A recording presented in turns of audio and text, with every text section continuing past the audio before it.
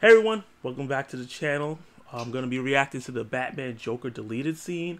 I wasn't a big fan of the scene in the actual movie where he appeared, so hopefully this gives us a little bit more and a better. I looked right into what Matt Reeves said about the character and how he really got affected by this uh, vat of acid that he fell into. That's why his face looks like that. And that still I saw, and the way he's acting, his that's why he has a permanent smile. I like the realistic take on that. Let's see how the scene is. I'm gonna react, and then I'll break it down a little bit. Let's go. Oof.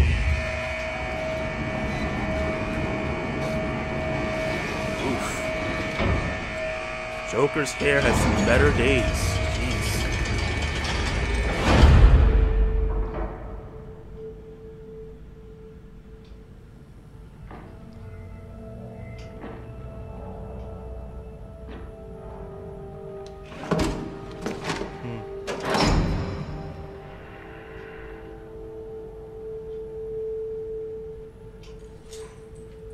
Everything is intentional. It builds up.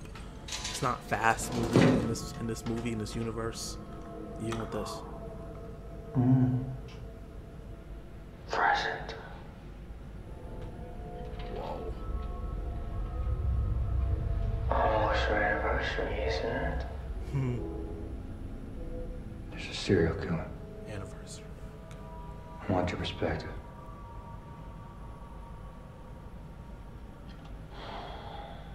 first anniversary paper. First, first. What makes you think I come so cheap? I thought you'd be curious. You think I could offer this stuff? Don't you?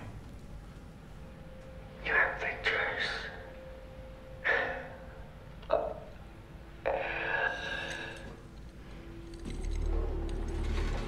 Ugh.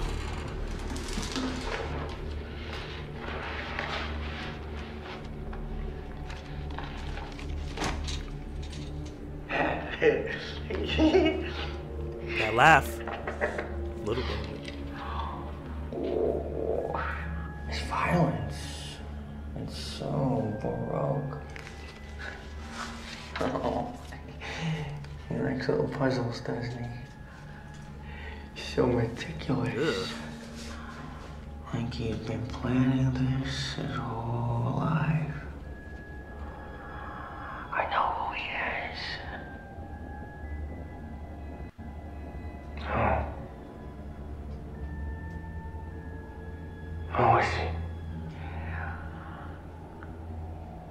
He's a nobody.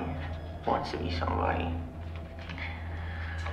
The mayor, the commissioner. Yeah. He's got ambition. You think his motive is political? Oh, no, no, no.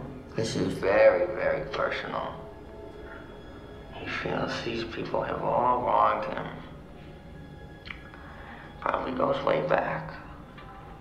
Unhealed wounds, stolen lunch money. Why is he writing to me?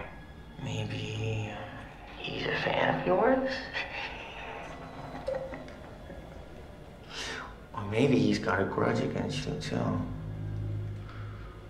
Maybe you're the main course.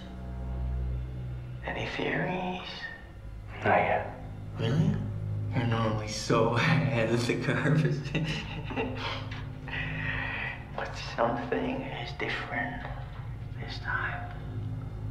This is very upsetting to you. Let's get back to him. Why? You're so much more fun. I'm not here to talk about me. What are you here to talk about? I want to know how he thinks. You know exactly how he thinks. Have you read this file? You two have so much in common. Avengers. So he's even more righteous. oh, you afraid he makes you look soft? You're wasting my time.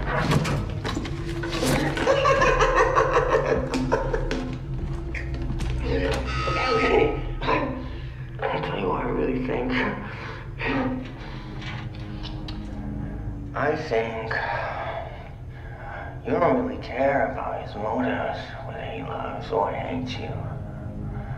I think somewhere deep down, you're just terrified. Cause he's wrong, huh? You think they deserved it, huh? You think they deserved it.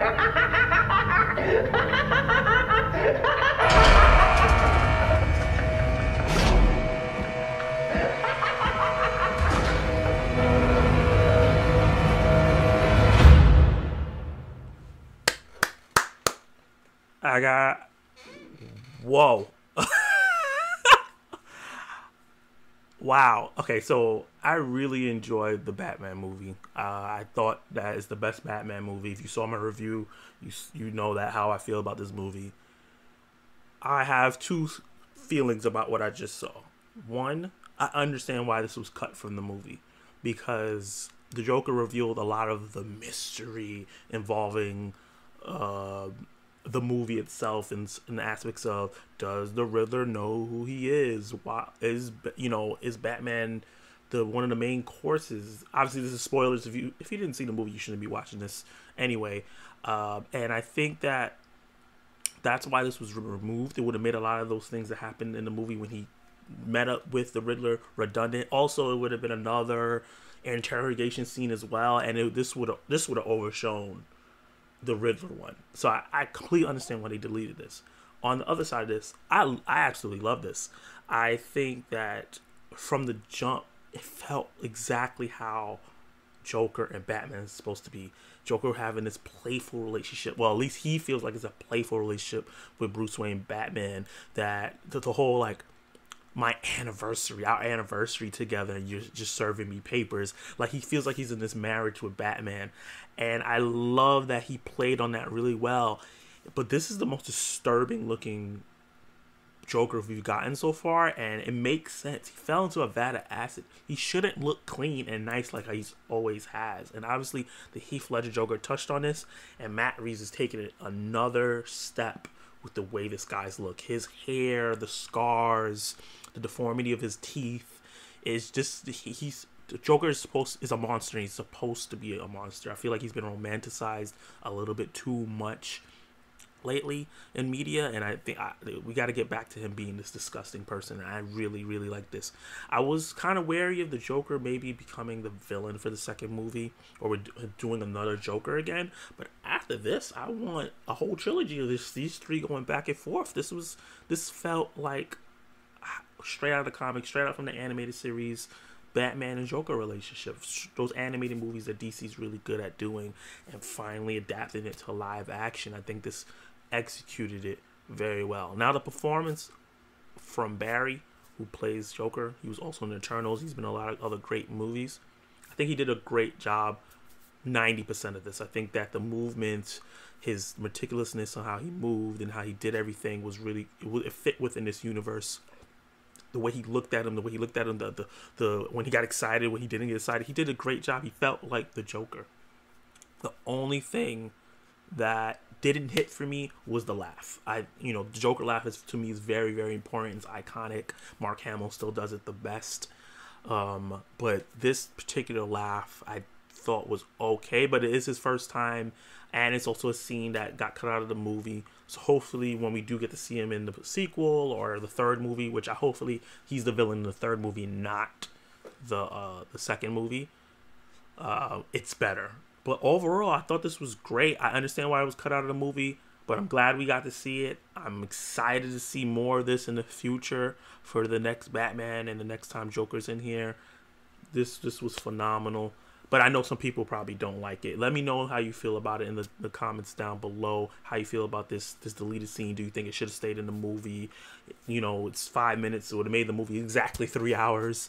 Um, or you completely hate this, or you're over seeing Joker or Batman because we've gotten so much of it yeah, drop those thoughts down below. Like, subscribe, hit the notification bell. Let me know what other things you want me to react to, review, um, have a discussion about, and you can watch more right now.